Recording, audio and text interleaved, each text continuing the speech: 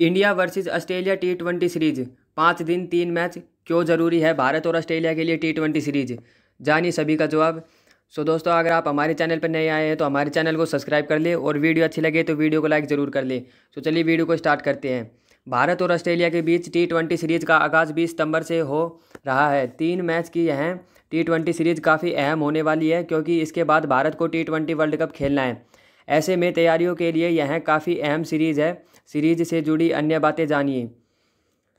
T twenty World cup 2022 से पहले team India तैयारियों के आखिर दौर में है। अब टी ट्वेंटी वर्ल्ड कप को एक महीने से भी कम समय बचा है। ऐसे में यहाँ टीम इंडिया का हर कदम वर्ल्ड कप से तैयारियों से जुड़ा माना जाएगा। इसी कड़ी में पहली परीक्षा ऑस्ट्रेलिया के खिलाफ 20 सितंबर से शुरू हो रही है। भारत को अपने घर में ऑस्ट्रेलिया के खिलाफ तीन मैच की टी ट्वेंटी सीरीज़ खेलनी है। यह सीरीज़ क्यों ज़रूरी है और इस सीरीज़ से जुड़ी सभी अहम पॉइंट क्या है, सभी बताएँगे। कब और कहाँ खेले जाएँगे T twenty series?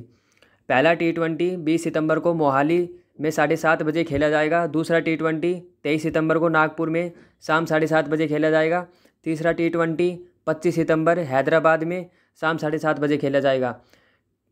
Team, Bharat की टीम में कौन कौन है? रोहित शर्मा, कप्तान है के राहुल उप कप्तान है विराट कोहली सूर्य कुमार यादव, दीपक हुड्डा, ऋषभ पंत, दिनेश कार्तिक, हार्दिक पांड्या, रविंद्र चंद्र, अश्विन, युजवेंद्र चहल, अक्षर पटेल, भुवनेश्वर कुमार, मोहम्मद शमी, हर्षल पटेल, दीपक चाहर, जसप्रीत बुमराह, ये सभी टीम इंडिया के खिलाड़ी है गाइज़ भारत और ऑस्ट्रेलिया की टी ट्वेंटी सीरीज़ कहाँ देखें?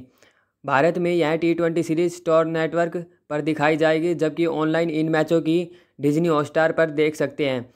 ऑस्ट्रेलिया में यह मैच चैनल सात और फॉक्स स्पोर्ट्स पर दिखाए जाएँगे। भारत और ऑस्ट्रेलिया की टी ट्वेंटी रैंकिंग क्या है?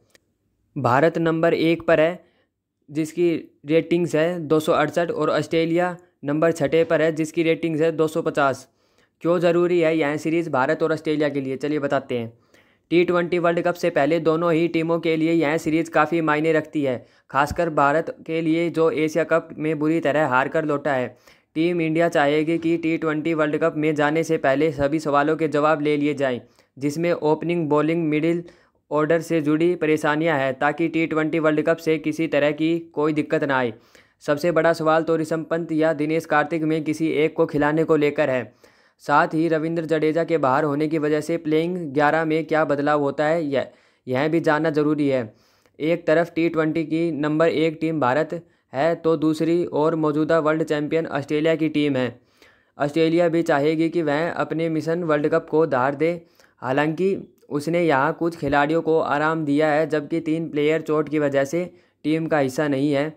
David Warner Mitchell Starc Mitchell Marsh और मार्क्स स्टोइंस भारत के खिलाफ होने वाली सीरीज़ का हिस्सा नहीं बन पाए।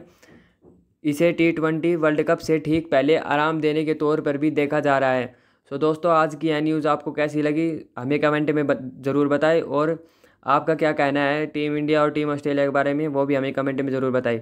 अगर आपको वीडियो अच्छी लगी तो हमारे वीडियो को लाइक करें और चैनल को सब्सक्राइब ज़रूर कर लें ताकि आने वाली हर क्रिकेट की अपडेट हम आपको सबसे पहले देते रहें।